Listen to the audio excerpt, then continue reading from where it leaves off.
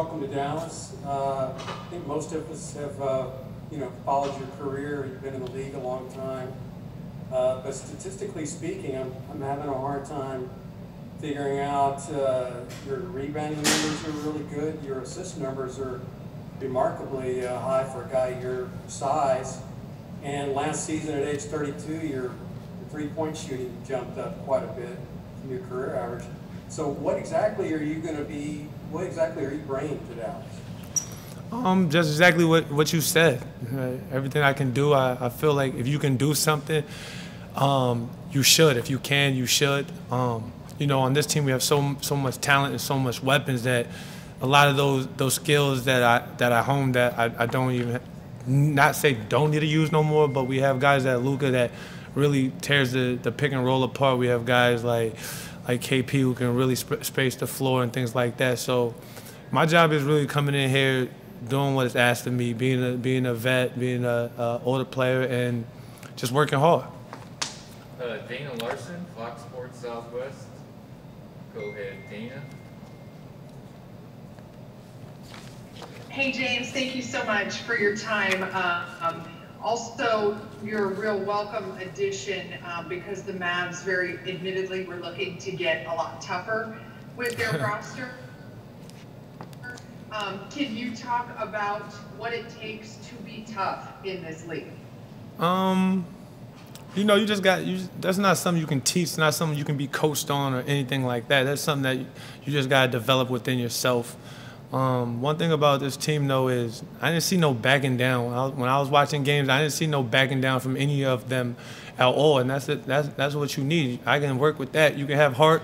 That's all you need. But I don't think they needed an enforcer like me to come in to enforce stuff. Like Luka takes care of himself, and that's one of the most reasons I respect about him more than his game is that he's able to stand up and, and and to fight for himself if needed. But how the rest of the guys took took it um, took that challenge on and accepted that and looked after Luka, that's just part of who I am and it's just part of something I want to be about. Okay, uh, Chuck Cooper's team, Mavs uh, Radio.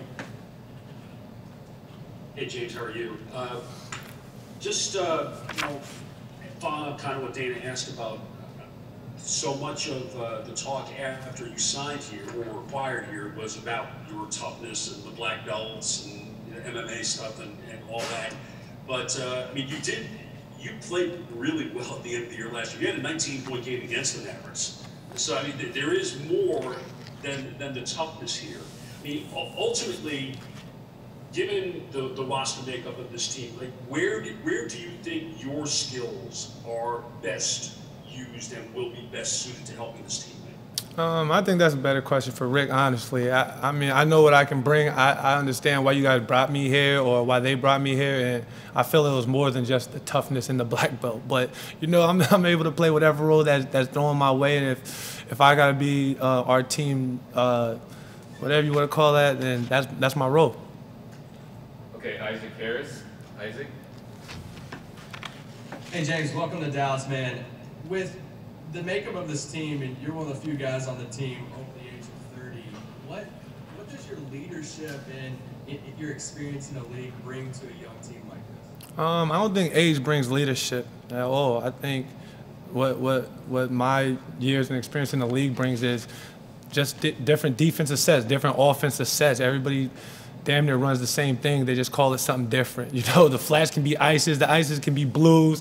You know, just as long as you learn the terminology and you don't have to think before reacting, I think I think that's what it is. And I can explain to the, the young guys, like, take your booklets home, man. That's something I never did as a rookie or second year player. Take my booklets home to read early plays or read the defensive schemes that we're to work through in practice. Like, just the important little stuff that I picked up on the way that, you know, has nothing to do with basketball. Uh, Callie Caplan. James, good to see you. Welcome to Dallas. Um, you mentioned. Can't hear you, Callie. Broken up. Can you hear me, No. Yes. Yeah. Oh, sorry about that. Welcome to Dallas. But when you mentioned that when you were watching the Mavs, they didn't back down. But what were your other impressions um, from watching them from afar and from playing against them over the past I, I honestly I honestly love that series. I, I thought they really had a chance. They they give that team the, the biggest challenge of their whole run to the ship. So, you know, that says something. But uh, like I said, to to taking a challenge like that and, and to be in that position, you know, I don't know when the last time they was in that position, or if Luka ever was in that position, or Doe was ever in that position, or KP was ever in that position. But, you know, I think that that shit comes with experience, and they they gotta they gotta a level up on experience after last year. Kevin Gray. Go ahead, Kevin.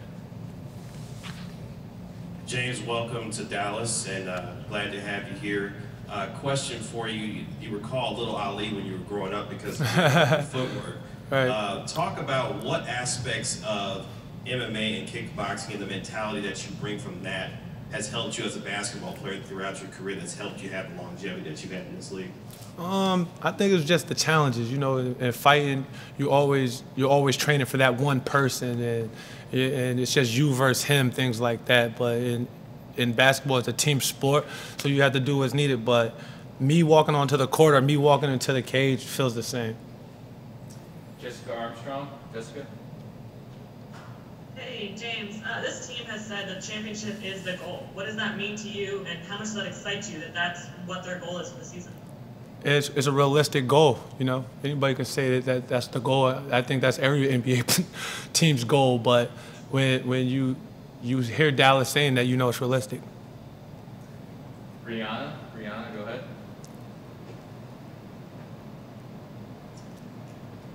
Hello, James. Um, so you've pretty much played everywhere. Do you think there is something that you can learn from Coach Carlisle that you haven't um, maybe learned in previous? I mean, I've been been going against coach for 12 years now, so you know you learn a lot just from being his opponent. But you know, just the first day of practice, just the little tips and knacks and the, the, the lessons that he has and everything else. You know, of course, it's easy to pay attention to that.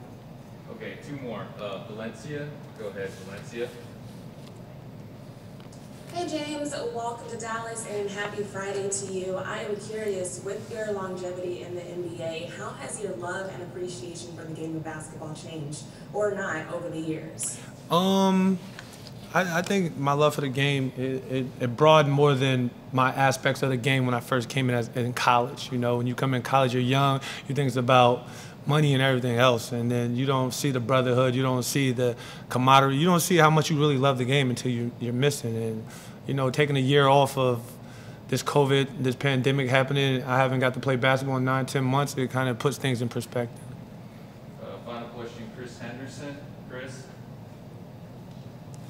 All right, James. So for years, me and you have talked sneakers, and you know, I see you. I see you. I'm I'm playing. All right, so I gotta ask you, man. So what brand are you gonna be rocking with this year? And also, I want you to tell Mavericks fans who you are because I think you have a big personality. You're a fashion guy. You love music, I know. So I just want Mavericks fans to know you. And you gotta tell us what brand you're wearing this shit. Um, definitely gonna probably be in the Nikes, Kobe's. You know, gotta pay my tribute. Um, but yeah, you know, I'm simple. I, I love to have fun, as in like a commodity. I love to take care of my teammates, have to go eat dinner, chill, family guy, whatever. But you know, I it's hard to explain who I am without. You know what I mean? It's hard. But who I who I know I will be for this team is a hard worker, someone who's gonna give it up every night and grind for sure. All right. Thank you for the time, James. Appreciate it. All right, thank you guys.